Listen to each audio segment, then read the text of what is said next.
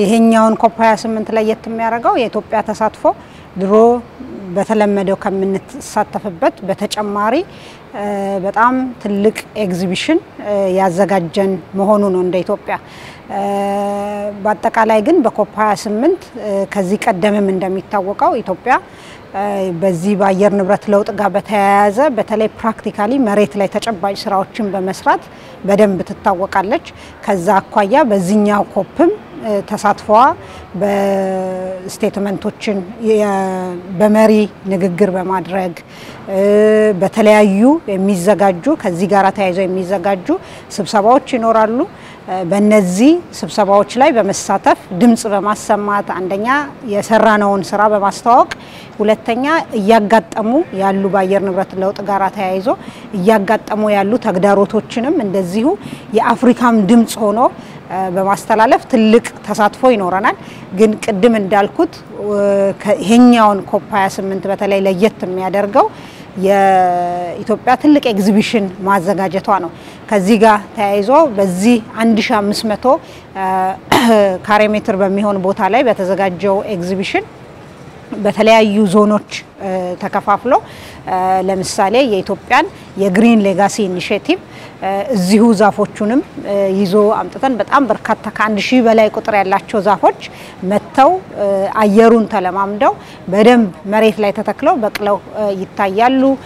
ስለ ኢትዮጵያ green legacy initiative ስላስገኘው ጥቅም ምን ምን ዛፎች ነው የምንተክለው፣ የምግብ ዛፎችም እንደሚተከሉ fruit ኦችን፣ ሌሎች የመድኃኒት ባህሪ ያላቸው ዛፎች እንደሚተከሉ በደንብ በሚያሳይ ደረጃ green legacy ን በሚመጥን ደረጃ ዝግጅት ተደርጓል።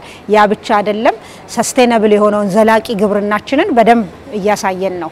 የአፈርና የውሃ ጥበቃ ስራችንን ከግብርና ጋር ተያይዞ ግብርና በተለይ ከቅርብ ጊዜ ወዲህ ከውጭ እናመጣ የነበረውን ስንዴ በሀገር ውስጥ ተክተን ይልቁኑ ለኤክስፖርትም ማድረግ መጀመራችንን በሚያሳይ መልኩ ስንዴን የስንዴ ታሪካችንን ማሳየት ችለናል። ሌሎቹንም የኢትዮጵያ ከግብርና ጋር የተያያዙ በርካታ ስራዎችን የሌማት ትሩፋትን ጨምሮ በደንብ አድርገን አሳይተናል። ያ ብቻ አይደለም። ኢትዮጵያ በጣም ትልቅ fresh water ያላት ሀገር ናት። ከውሃ ጋር ተያይዞና ውሃ ጋር ተያይዞ ያለው የ renewable ወይም የአረንጓዴ energy ታሪካችንንም በደንብ አድርገን ትልቅ ዞን አዘጋጅተንለት ሁሉም የ energy source ኣችን የኃይል source ኣችን green መሆኑን አረንጓዴ መሆኑን potential ኣችንንም ማሳየት የሚችል አድርገናል።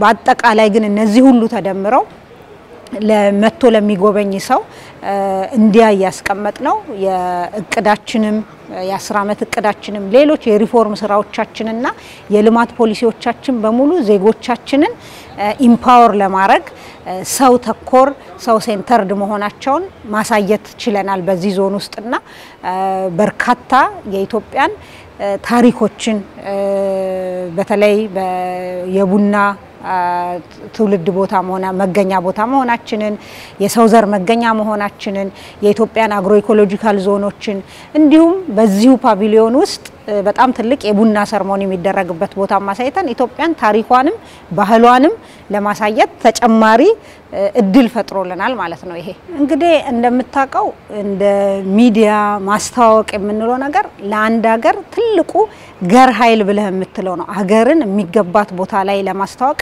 ያ ናሬት ማድረግ ስለ ሀገር ታሪክ፣ ስለ ሀገር በጎ ገጽታ መገንባት አገር በዓለም አቀፍ ደረጃ ያላትን ተጽዕኖ ከሚያሳድጉ ነገሮች ውስጥ አንዱ የዚህ አይነት ጉዳይ ነው።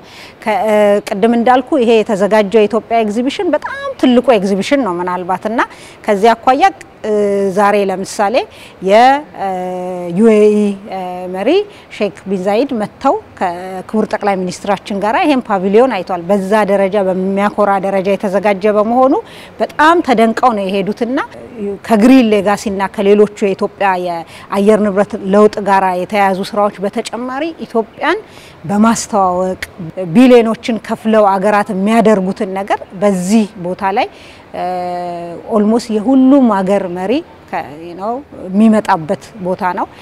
የምናዘጋጃቸው እዚሁ የምናዘጋጃቸው ስብሰባዎች፣ presentation ኦች አሉ። እዛ ላይ የተጋበዙ የሀገር መሪዎችም አሉ፣ መጥተውም ይጎበኛሉ እና ይሄ ኢትዮጵያን ከምንሰራው የአየር ንብረት ለውጥ ጋር በተገናኘ ከምንሰራቸው ስራዎች በተጨማሪ ኢትዮጵያን የሚገባት ቦታ ላይ ከማስቀመጥ አኳያ ያንን narrative ከማምጣት ትርክት ማምጣት ጋራ ትልቅ ሚና የሚኖረው ቦታ ነው ማለት ነው።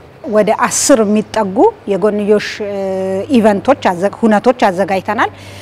ከ green legacy ጀምሮ የ green legacy initiative ኣችንን የምናስተዋውቅበት ምን ማለት ነው የሚለውን የምናሳይበት ይኖረናል። ከዛ በመቀጠል የምግብ ስርዓታችንን ለማዘመን እየሰራን ያለነው ስራ የግብርና ማለት ነው። ከዛ ጋር ተያይዞ እንደዚሁ ይኖረናል። ሌላኛው ከከተማ እንግዲህ ከተሜነትና ክትመት ጋር ተያይዞ አሁን በከተሞቻችን እየተሰሩ ያሉ የአረንጓዴ ስራ ስማርት የማድረግ ዘላቂ የሆኑ ከተሞች እንዲሆኑ የማድረግ ስራችንን ከኢንቨስትመንት በተለይ ከግሉ ዘርፍ ኢንቨስትመንት አኳያ አድርገን ሌላ event አለን።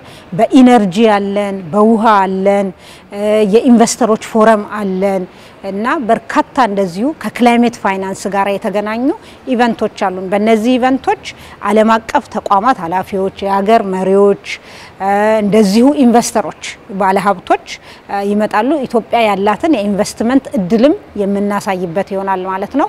እስከ December 12 ድረስ በየቀኑ በርካታ event ኦች፣ ሌሎች ትልልቅ ተቋማትም ለምሳሌ እዚህ pavilion ላይ የ Horn አፍሪካ initiative host ይደረጋል እና በእኛ pavilion ሌሎች የልማት አጋሮች በዚሁ ከኛ ጋር ትልልቅ event ኦችንም ተጨማሪ አድርገው ያደርጋሉ ማለት ነው።